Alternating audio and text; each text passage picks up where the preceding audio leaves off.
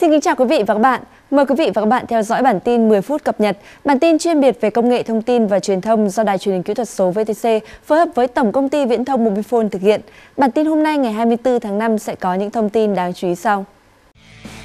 Tổng thống Mỹ Barack Obama ăn bún chả thật sự trở thành tâm điểm của truyền thông trong nước hai ngày qua. LG nhận kỷ lục sở hữu TV OLED 4K đầu tiên tại Việt Nam. Cận lịch sử dễ dàng hơn qua kỹ năng lập trình mô hình.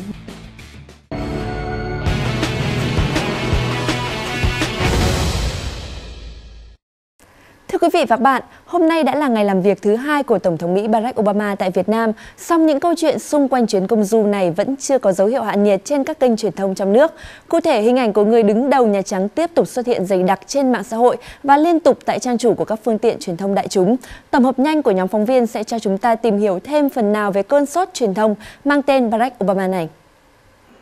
Tổng thống Obama giản dị ngồi thưởng thức bún chả trong một quán ăn ở Hà Nội. Đây là hình ảnh hot nhất mạng xã hội từ hôm qua đến hôm nay. Hàng trăm nghìn lượt like, chia sẻ và bình luận ngay sau khi đăng tải. Phần lớn cư dân mạng thể hiện sự thích thú và yêu mến vị Tổng thống thân thiện cũng như thêm tự hào đối với món ăn truyền thống của Việt Nam. Mình ấn tượng nhất là cái cảnh mà Obama sau khi ăn bún chả ấy, thì thì là bắt tay rồi là đứng để người dân chụp ảnh ấy thì thì tức là họ tức, tức là Obama cái cái tức là cái mức độ quan tâm rồi là gọi là khả năng giao tiếp với công chúng ấy Um, tôi ấn tượng với uh, hình ảnh uh, ông Obama cho cá ăn cùng với uh, chủ tịch quốc hội. Uh, ông rất là từ tốn thông thái. Uh, ngay trên uh, Facebook của mình thôi thì uh, rất nhiều bạn bè của mình cũng đã cũng uh, chia sẻ và uh, cập nhật thông tin về uh, đời sống của Obama ở Việt Nam rất uh, rất là uh, hàng ngày luôn. Hầu như mọi lịch trình của Tổng thống Mỹ đều được người dân cập nhật và theo dõi hàng giờ thông qua mạng xã hội. Từ những cuộc hội đàm cấp cao đến những buổi gặp gỡ giao lưu và ngay cả sinh hoạt đời thường của ông tại Việt Nam cũng được lan tỏa chóng mặt trên mạng xã hội, khiến cả những người vốn không mấy quan tâm đến chính trị cũng không thể đứng ngoài. Qua truyền thông thì chúng tôi những người dân mà không được được gặp cũng như là cũng không được được thấy cái việc mà uh, tổng thống Obama đến ý, thì chúng tôi biết thông tin qua tất cả các cái kênh mạng uh, mấy ngày hôm nay thì uh, việc uh, tổng thống Obama đến phủ khắp thông tin ở trên tất cả các cái trang mạng của Việt Nam mình thì tôi nghĩ là rất được quan tâm. Song song đó, các kênh báo chí điện tử, truyền hình cũng liên tục cập nhật thông tin về hoạt động, lịch trình của Tổng thống Mỹ, không chỉ thông qua các kênh chính thức mà còn phát sóng trực tiếp trên Facebook, YouTube hay các trang mạng xã hội khác. Kênh Facebook của báo điện tử Vietnamnet đăng clip Tổng thống Mỹ vui vẻ bắt tay, trò chuyện cùng người dân sau khi rời khỏi quán bún chả, đã thu hút tới gần 50.000 lượt like, hơn 23.000 lượt share và được coi là một trong những thông tin thu hút nhất từ trước đến nay trên kênh này.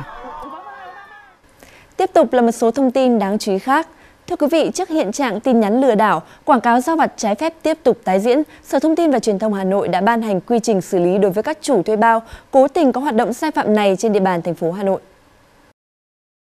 Cụ thể, Sở Thông tin và Truyền thông sẽ tiến hành tổng hợp các số điện thoại quảng cáo giao vặt sai quy định từ các đơn vị thống kê định kỳ một lần một tháng và ban hành văn bản đề nghị các doanh nghiệp cung cấp dịch vụ viễn thông tạm ngừng cung cấp dịch vụ. Riêng đối với các số điện thoại quảng cáo giao vặt về các chương trình biểu diễn nghệ thuật, Sở sẽ có văn bản đề nghị các doanh nghiệp cung cấp dịch vụ viễn thông tạm ngừng cung cấp dịch vụ ngay khi nhận được văn bản đề nghị của Sở Văn hóa và Thể thao.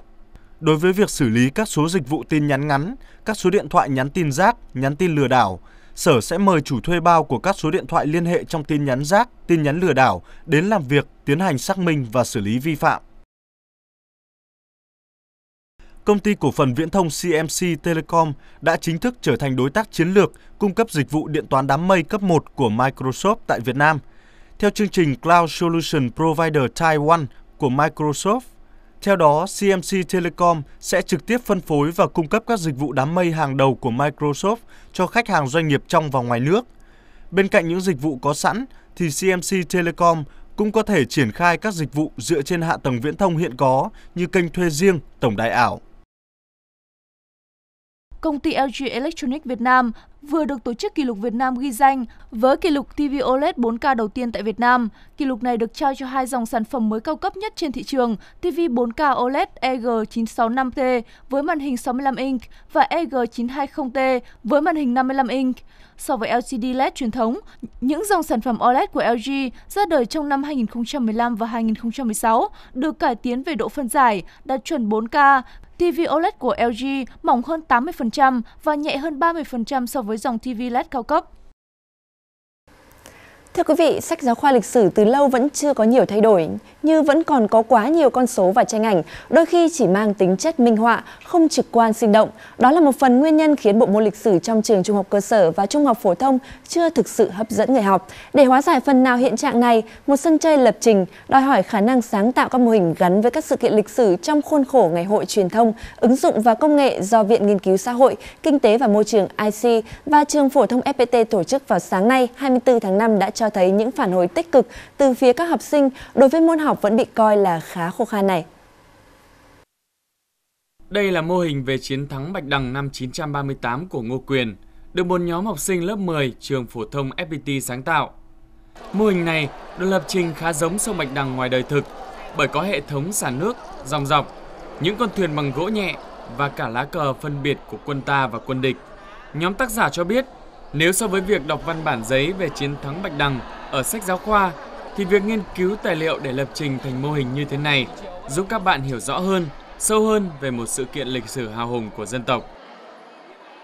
Việc làm mô hình này nó thực sự là nó nhẹ nhàng hơn so với phải học là khoảng 10 tờ giấy, 10 trang giấy ạ. Nhưng mà thực ra em hiểu rất sâu, em hiểu sâu hơn về cái về cái kiến thức lịch sử. Quá trình này em cảm giác nó sẽ sinh động hơn và nó có nhiều ý nghĩa hơn và mình sẽ chân thực hơn ở cái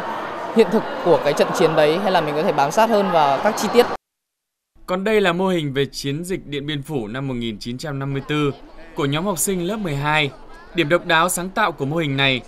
là việc thiết lập kết nối đèn báo sáng qua các đợt tấn công trong chiến dịch. Chẳng hạn trong đợt 1 của chiến dịch, các đèn trên mô hình sẽ đồng loạt chuyển sang màu xanh dương, còn đến đợt 2 thì các đèn sẽ chuyển hoàn toàn sang màu đỏ. Có thể nói, Mỗi mô hình là một góc nhìn, là một cách thể hiện kiến thức, sự hiểu biết của các em học sinh về các sự kiện lịch sử. À, việc mà cho học sinh tiếp cận với dưới hình thức là mô hình như thế này thì sẽ làm cho các em cảm thấy rất là thú vị với bộ môn lịch sử và nó không làm cho cái ờ, việc học lịch sử cảm giác là nhàm chán. Cái thứ hai nữa là các em sẽ nhớ rất lâu. Bên cạnh đó, tham gia ngày hội truyền thống, ứng dụng và công nghệ, các bạn trẻ còn được thực hiện clip đóng kịch, trưng bày, chụp ảnh để tiến hành tuyên truyền, quảng bá trên mạng xã hội. Thông tin vừa rồi đã kết thúc bản tin 10 phút cập nhật ngày hôm nay. Cảm ơn quý vị và các bạn đã quan tâm theo dõi. Xin kính chào tạm biệt và mong được tiếp tục chào đón quý vị ở các bản tin công nghệ tiếp sau.